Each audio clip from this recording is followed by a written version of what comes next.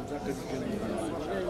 Un presidio per salvare il posto di lavoro e garantirsi un futuro dignitoso. Sit-in questa mattina di 70 lavoratori di Call.it, Consorzio Sintesi, davanti la sede del Consiglio regionale della Campania. Motivo della protesta la decisione di Wind 3 di interrompere il contratto di appalto con l'azienda. In particolare ad essere fortemente a rischio è il perimetro occupazionale composto prevalentemente da lavoratori diversamente abili. Un'emergenza questa che non va sottovalutata e che riguarda i lavoratori di Napoli, Roma e Palermo, dicono i sindacati. Ascoltiamo Gianluca Daniele, segretario generale SLC CGL Napoli e Campania. Noi eh, come organizzazioni sindacali e in generale insieme ai lavoratori eh, chiediamo anche un intervento del governo e delle istituzioni affinché eh, si possa dare continuità al lavoro di queste persone e applicare nel caso la clausola sociale per garantire comunque un posto di lavoro a lavoratori che per anni hanno svolto con dignità e con grande dedizione la loro mansione. All'incontro al centro direzionale sono intervenuti esponenti della regione Campania.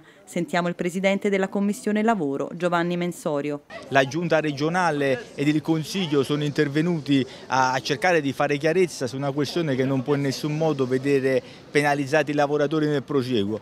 Eh, si, va verso una soluzione eh, per definire contorni che non pregiudichino i diritti dei lavoratori e, e siamo fiduciosi di poter andare tutti nella stessa direzione per ottenere risultati positivi.